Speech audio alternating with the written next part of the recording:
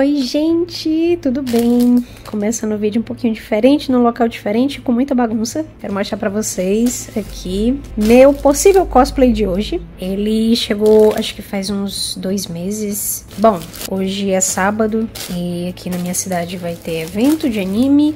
E assim, gente, isso aqui é um baita de um cosplay bem complicado de vestir, tem muita coisa, mas... Enfim, vou mostrar aqui pra vocês alguns detalhes. Isso aqui é a capa se eu não for com ele, eu também tenho aqui duas saias de prega, que eu achei a coisa mais linda, num shopping aqui perto de casa, gente. E é totalmente evento de anime, sabe? E aí é só botar uma blusinha de anime com essa e fechou.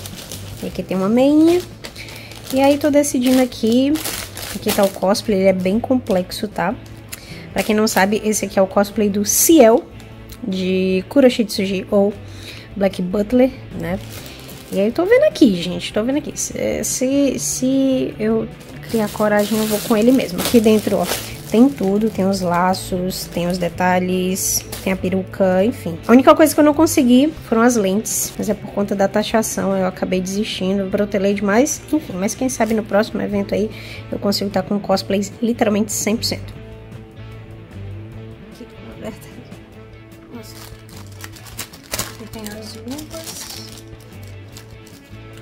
Alguns detalhes que ficam na roupa. Esse aqui fica na perna.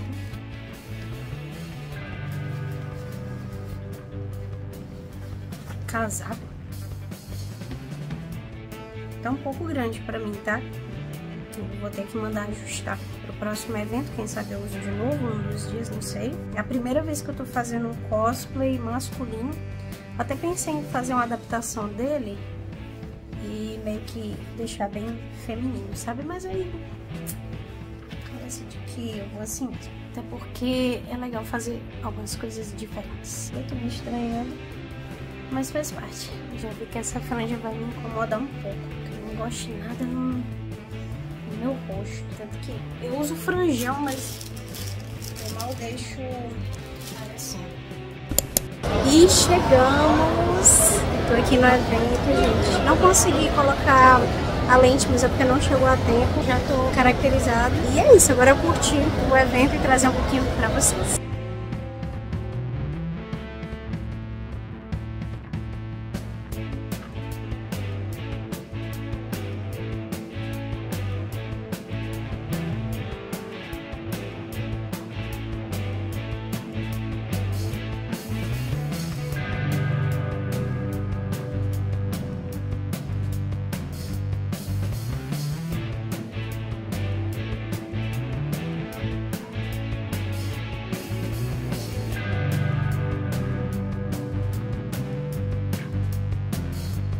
Pessoal, vocês pediram pra eu voltar com as entrevistas no canal, então vamos começar com essas duas florzinhas aqui, olha como elas estão lindas, de Estúdio Ghibli. Nós estamos com os cosplays de... Eu sou Kiki. Eu sou a. É o primeiro evento de vocês? É o quarto. Quarto evento, caramba, que massa! Vocês estão gostando? Sim, muito. E vocês vieram pro colégio, família? A gente veio sozinha esse ano. Ai, foi? Dependentes. Da, das minhas. Vocês são fãs do Estúdio? Quanto tempo? Uns quatro anos, eu acho. Ai, meu Deus. É meu coração. Eu pequena pessoa que agora tem. Eu sou muito fã. Eu vi vocês de longe, eu bater um papo com elas. Eu vou deixar aqui o Instagram delas, se vocês quiserem seguir. E é isso, espero que vocês estejam curtindo o evento. Obrigada. Primeira entrevista do canal.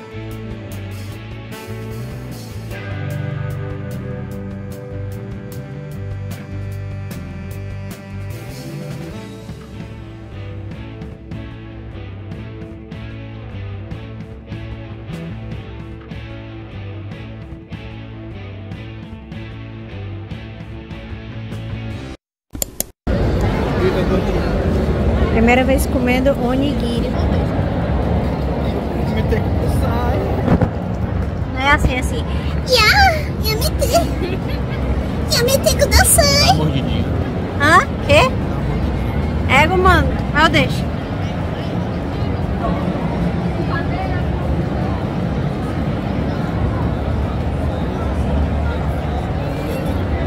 Gosto de arroz.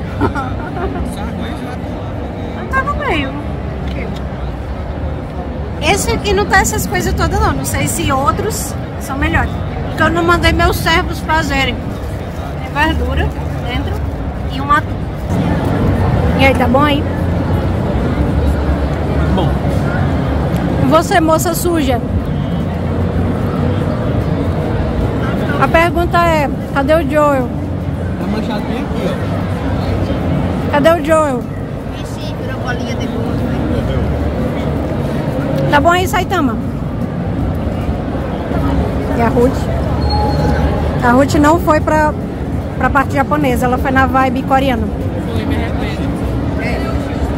É muito apimentado, é? Eu não sei como tu tá comendo sem tomar com alguma coisa. É água com gás, basicamente.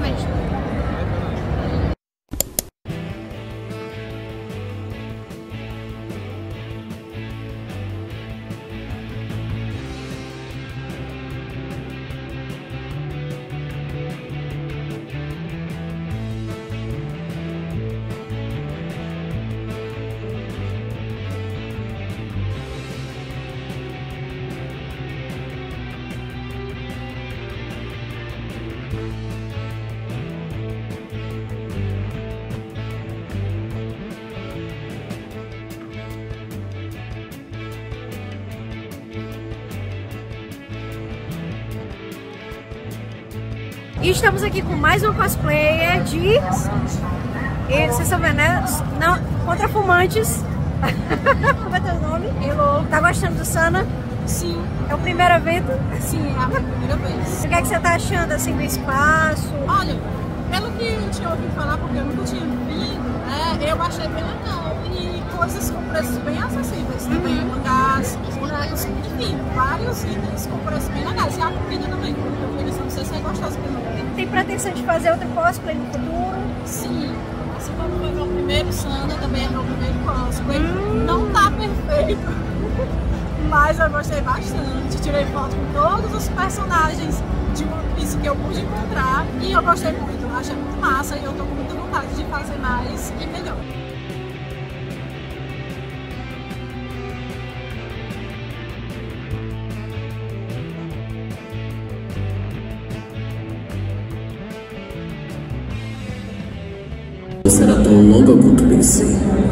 Mas que impressão é essa?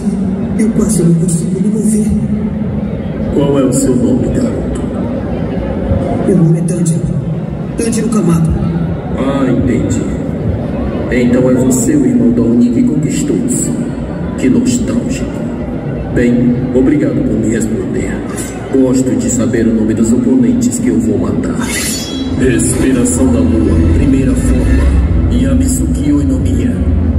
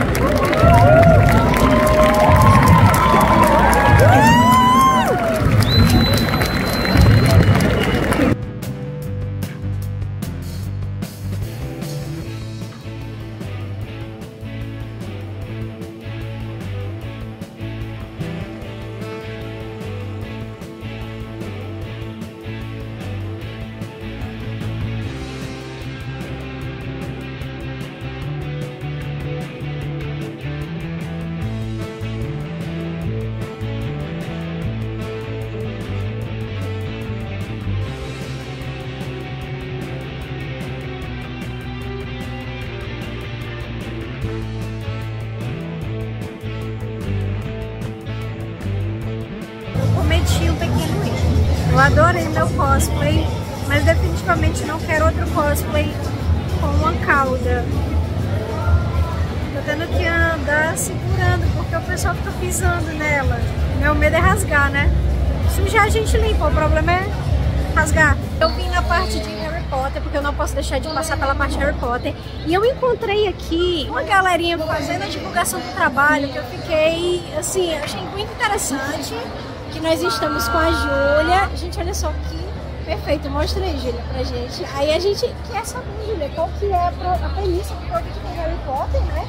Só que bem no estilo, assim, Nordeste, que é a nossa terrinha. Então, gente, meu nome é Júlia Oliveira, é, eu sou editora de livros, escritora, e há mais de 20 anos a gente já trabalha com cordel, mas há algum tempo é, a gente teve a alegria de publicar um trabalho do Patrick, que hoje é meu sócio também, sobre Harry Potter, nós lançamos no Sana ano passado. Então essa é a segunda participação no Sana. No ano passado a gente lançou esse trabalho do Patrick, que foi um sucesso. Fomos convidados pelo SESC, estávamos na Vila dos Artistas, e o sucesso foi tão grande, esse convidado chegou em tantos lugares, tantos leitores, que esse ano nós voltamos novamente agora em dois espaços, lá na Vila dos Artistas, que o Patrick, que é autor desse trabalho, e meu sócio está lá, e também na sala Harry Potter a gente tem é, artigos específicos de Harry Potter. Até o Cordel, que é essa nossa loja, a gente tem mais de 300 itens, não só de cultura geek, mas também cordéis infantis, cordéis feministas, espiritualistas, enfim, uma gama de títulos.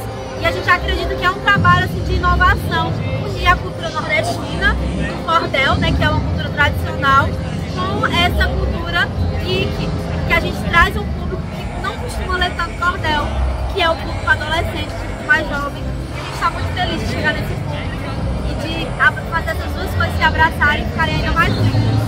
Caramba, que legal. Nossa, parabéns pelo projeto. Gente, eu vou deixar o Instagram deles aqui, tá certo? Tanto aqui na página, quanto aí na descrição do vídeo. Sigam eles e acompanhem o trabalho,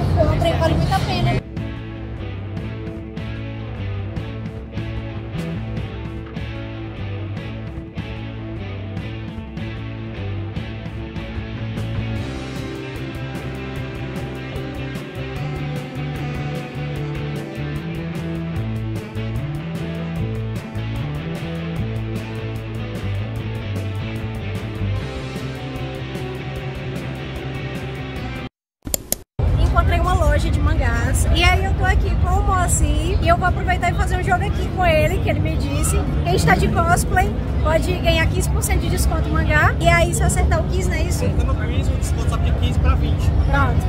Eu quero levar o mangá hoje. 15% eu sei que eu já tenho. Qual que é o 15? Primeiramente, eu digo onde você no anime. E no Yasha? E no Nash. Pode ser para outro, mas que é dois temporadas. Ah, por quê? Porque eu também não é separado. Aí esse eu não, não vi, você vai Ama meio. ama meio. Ixi. Não consegue, né? Que eu mereço 30% aí nessa brincadeira. Deixa eu ver outra. Porque eu sou, eu sou fã das antigas, eu conheço. Mais recente? Tá. Cara, que mês? Que meio.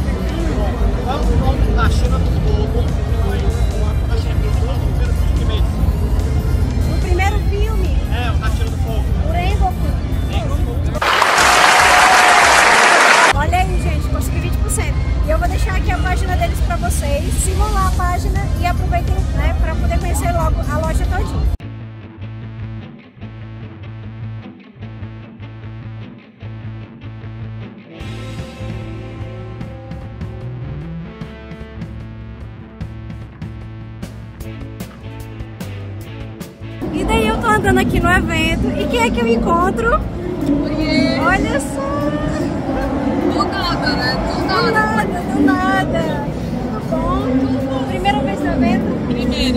Nordeste também.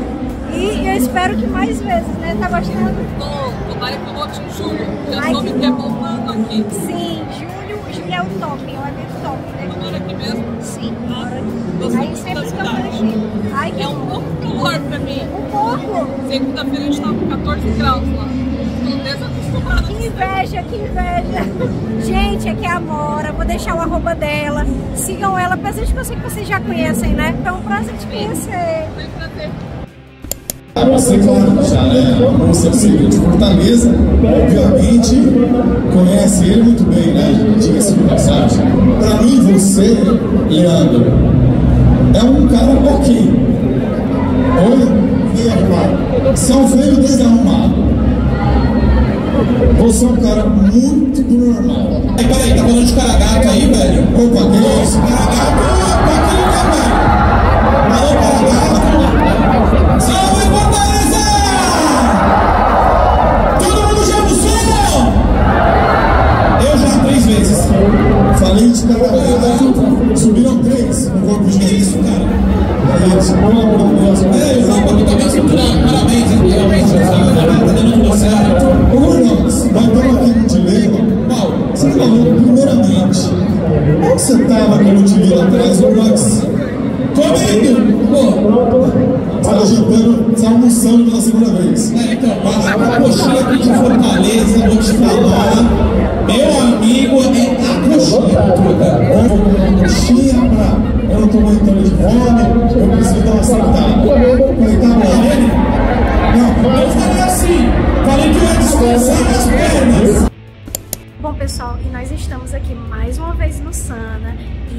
Aqui com a Marília, da parte de comunicação do Sana, e ela vai falar um pouquinho para vocês a respeito do evento, do porquê de vocês virem pro evento, e aí ela que vai contar isso tudo para vocês. Oi, gente, tudo bom? Eu tô aqui no Sana ah, trabalhando há mais ou menos 4 anos, mas eu venho ao Sana desde os meus 11, 12 anos. Eu tenho 28, então tem um tempinho.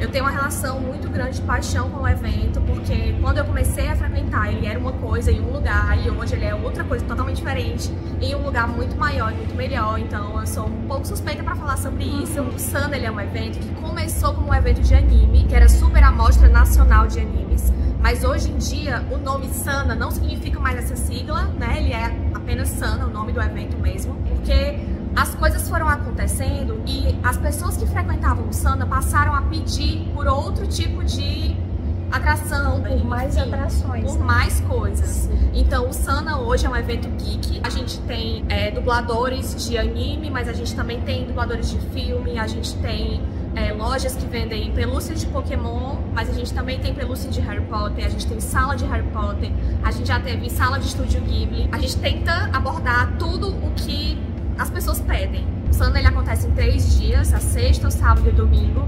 Quem é público há mais tempo já sabe como é que funciona a divisão dos dias. Geralmente o sábado é o dia mais movimentado, porque é o dia que a gente tem atrações é, de música. Por exemplo, hoje a gente vai ter o show do CPM 22, junto de algumas outras bandas. Então a gente tem um público aqui que é fã do CPM e porque comprou o ingresso pro show, pôde vir pro Sana. Tem muita gente diferente hoje aqui no sábado, tá muito lotado, a gente tá muito feliz que tem muita gente.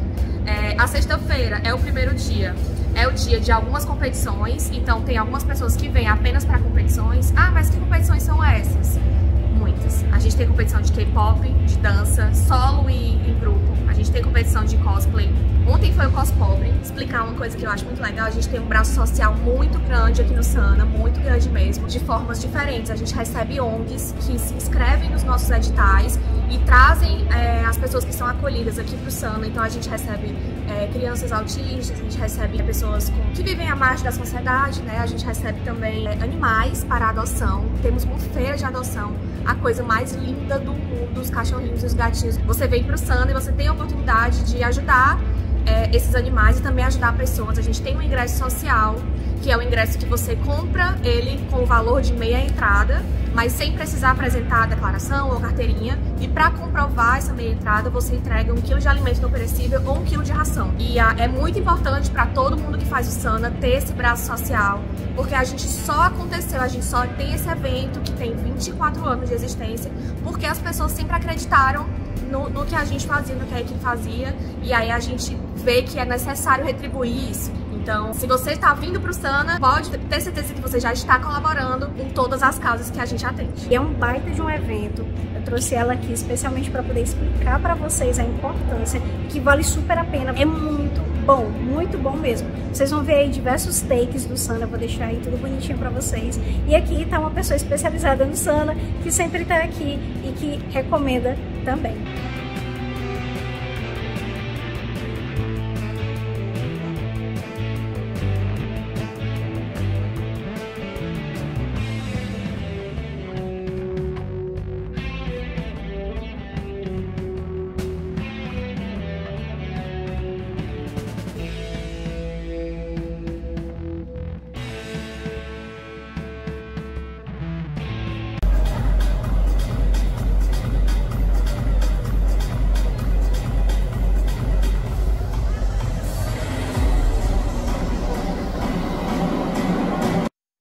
Bom, pessoal, já cheguei em casa e agora eu vou mostrar pra vocês o que foi que eu comprei no evento. Não foram muitas coisas, tá? Mas a primeira é dentro desse saquinho aqui. São alguns bottoms.